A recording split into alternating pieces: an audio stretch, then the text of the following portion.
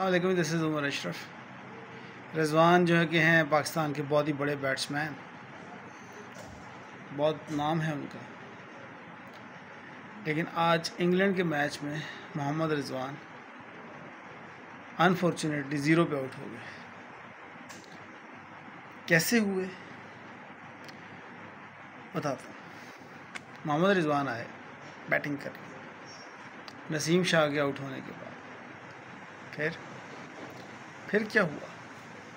फिर, रिजवान आए, Jack Leach आए, उन्होंने बॉल की, रिजवान बाहर निकले, और उन्होंने सीधी बॉल जो है वो फील्डर के हाथ में पकड़ा दी, और मोहम्मद रिजवान ज़ीरो पे आउट हो गए, ग्राउंड से बाहर चले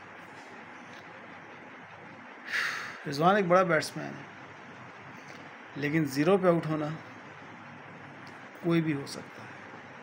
Anyone can out on zero yeah mm.